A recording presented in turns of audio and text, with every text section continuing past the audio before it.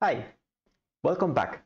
In today's session, we will talk about the main topic that has granted the peridynamics formulation such a big uh, popularity, and that, that is damage. So please stay in and let's start.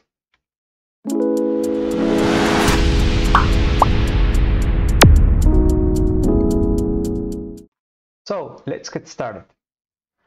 In peridynamics, as we have seen so far, we have a particle, P, which interacts with all the particles around inside a radius delta P uh, through bonds, yes? And these bonds are created, as in here, this particle Q with this particle P is one bond, then this particle uh, Q prime, let's call it like that, with this, this is another bond, then this, we have another bond, then we have another bond, and so on for the rest, right?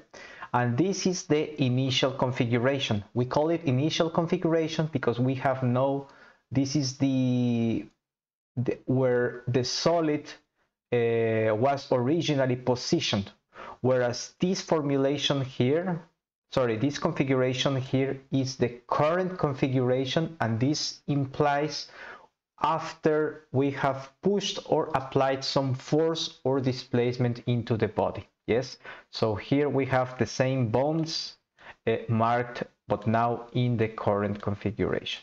Now, if we want to simulate damage, we know we need to introduce damage in a bond level. And why is that? Because we are working with bonds in the peridynamic formulation.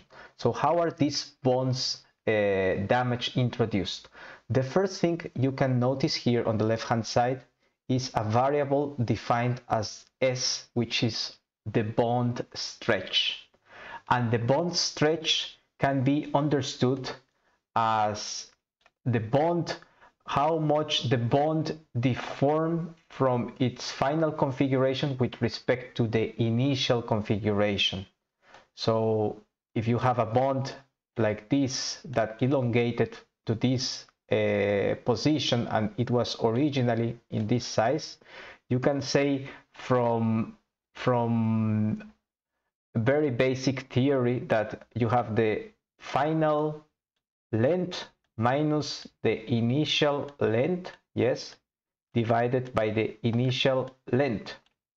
And this would give you some quantity of the stretch of this particular line, let's call it like this. Well, in peridynamics, this is also, this same concept is actually applied and it is uh, used, but now for defining the bonds, such as here.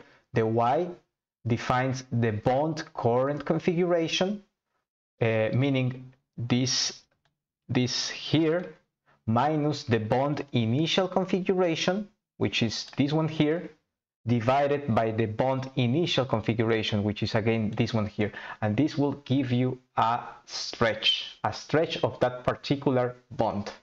Yes?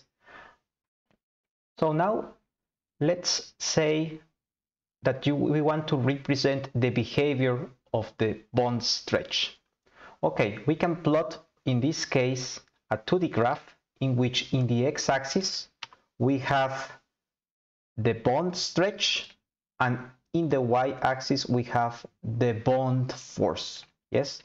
So let's say you are you start to stretch the bond and the force at the same time starts to increase. The more the bond you apply, the more stretch you apply to the bond, the bond the more the more force the bond will experience. And why is that? Because the bond doesn't want to break, right? It's resisting to the force, to the stretch that you are applying to it. That's why the force is increasing. But let's say that there is a critical point in which suddenly you apply more stretch than that and then you experience something drastically with the force and the force just drops meaning it goes to zero. And this physically would mean that suddenly the the bond just broke. There is not any other force uh, holding it the bond together. So now you can just simply continue elongating the the bond but the force is no longer present because the bond just broke. And we can call this parameter in this case is zero but this could be a critical stretch where the bond would break right? So if we look at this in terms of the damage we have that the bond initially when it was increasing its stretch it had uh, zero damage, meaning it was completely healthy and nothing was really happening at all. But then when it reached this critical stretch, suddenly the damage was equal to 1, meaning 100% damage, and the bond just broke and the force was no longer present, right? So if we look and apply this concept into our bond damage, we can see here that the damage of this particular bond, uh, we call we can say this bond, which is the same in the current configuration as this bond, uh, would be equal to one if the stretch of that particular bond would be bigger or equal than a critical stretch as zero and it would be zero otherwise right? So when you would have this uh, damage here. And, and now if we wanted to calculate the bond force we know we could imply a parameter like as it is here 1 minus d multiplied by the bond uh, by the bond uh, constitutive model t yes which is the bond force. And then we could say okay if the damage is equal to zero then this would be equal to t and the bond force is still going on. But what happens when the damage is 100%? This D will be equal to 1 and the bond force will no longer be present. Yes? But now, let's say we want to visualize this damage. And this is something very, very important to understand because we have so far uh, applied damage to the bond level and this is perfect.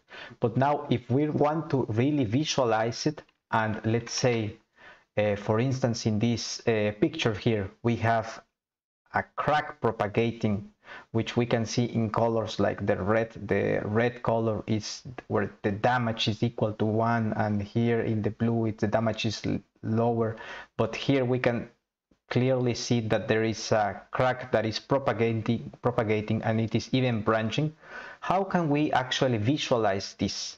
And to do this visualization in peridynamics, uh, there's something quite important to understand. And this visualization that and uh, that is that this visualization that we are looking at here, it's generated at the bond level, but it is visualized in the particle level. So meaning here the colors are attributed to the particles and not to the bonds. Yes? So what what do i mean by that? Okay. So imagine we have here uh, this crack propagation pattern that i was mentioning before. I will put it in i will put it into Uh, as a, as a road in between yeah so we have here particles, one particle, then we have another particle, then we have another particle, then another particle, and so on, right? So we have this path made, this damage path or this damage crack made of particles, yes? But we also have particles in the domain around, right? Here, here, here, here. Sorry for the not very nice drawings. I apologize for that.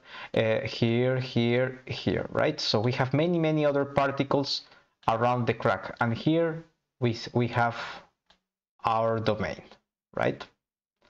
So now the damage that we are looking at is at the particle level and the bond and the damage that we were calculating previously is between, it's at the bond level. Meaning the connections between, let's say, if we select this particle, the connections of this one with this, this one with that, this one with that, and so on, right? So how do we get the damage in this particular or specific particle? And this is something that we can compute here as phi. So this phi will be measuring a fraction on this particle. And this fraction will be looping, let's see denominator here, will be looping over all the damage bonds, over all the bond uh, damage properties of each of the bonds that are uh, encompassing, uh, that this particle is encompassing in its horizon, yes? So let's say here that we have four bonds, one, two, three, four. So it will be looping over four bonds and let's say two of them are broken. Let's say this one here and this one here is broken. So in the first case, looping in the first particle, it will find that the damage is uh, 1. Then the other bond is also damaged. Then the particle is also 1. Then the other will be 0. And then the final one will be 0. These two are the two bonds that are damaged. And these other two are 0 because they are not damaged when each of these are being multiplied by the volume and then they are divided by the average the volume of all the that all the bonds that compound compound this uh, horizon so in this sense if we are uh, roughly multiplying we will have two bonds divided by over four. And of course this one is being multiplied by their corresponding uh, volumes. This will give you in average 0.5 uh, damage in the particle. Yes? This is the 0.5 that you actually see in the particle level as illustrated in here so this is how you can calculate the damage so now uh, just a quick uh, view on this, I would like to show you how this is done in Peridigm. And for doing so, you can go here to the folder. In the SRC folder, you can go to the damage folder. And inside the damage folder, you will see the critical stretch damage model, which is the one that it is mostly employed in peridynamics for brittle fracture. Then looking here into, we have the initialization. So we have here the compute damage. And in the compute damage, we will see how in the first part, it will start computing the damage through the bonds. Yes, here is looping for one particle and then it's starting to loop for all the particles that correspond to the horizon of this particle here so it's creating the bond it's computing here the current distance of the bond minus the initial distance of the void divided by the initial distance of the bond which is the stretch. And if this stretch is bigger than a critical parameter the damage is equal to zero. Otherwise it's equal to uh, otherwise the damage is equal to one i'm sorry. And otherwise it, it is stays the same.